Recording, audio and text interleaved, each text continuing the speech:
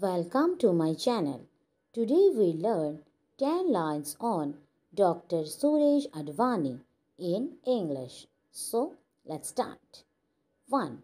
Suresh Advani was born on August 1, 1947 in Karachi. 2. His family, parents, three brothers and three sisters had to flee to India on August 15 due to partition. 3. He is an oncologist who pioneered hematopoietic stem cell transplantation in India. 4.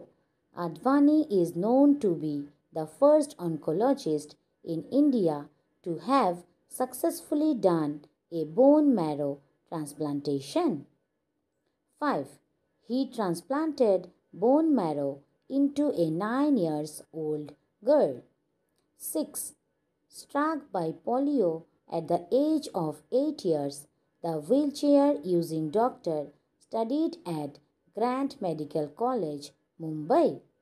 7. Advani did not have any great ambition until he was hospitalized with polio.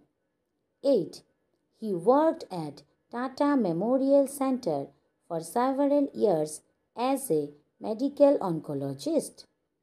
9. He gained experience in the field of bone marrow transplantation. 10. He is the recipient of the Padma Bhushan Award by Government of India in 2012. Thank you for watching. Please like, share, comment and subscribe my channel. Take care. Bye-bye.